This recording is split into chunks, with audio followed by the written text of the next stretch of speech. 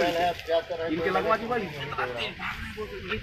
पीछे का है हाँ। सीओ साहब ईटीवी से आशुतोष मिश्रा ये गोसाईगंज थाने में गोवध अधिनियम के तहत कोई मुकदमा दर्ज हुआ है? बता दें जरा।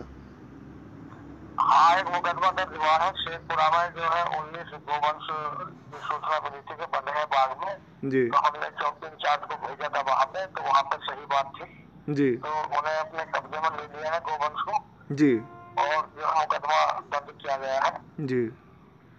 ये कहाँ ले जा ले। कहाँ भेजे जा रहे थे गोवंश? अब ये कहाँ भेजे जा रहे थे ये तो अब संदिग्ध है। क्योंकि जब इकट्ठे जानवर जा रहे हैं जी। तो ज़ाहिर है कि इनको हत्या के लिए जा रहे होंगे।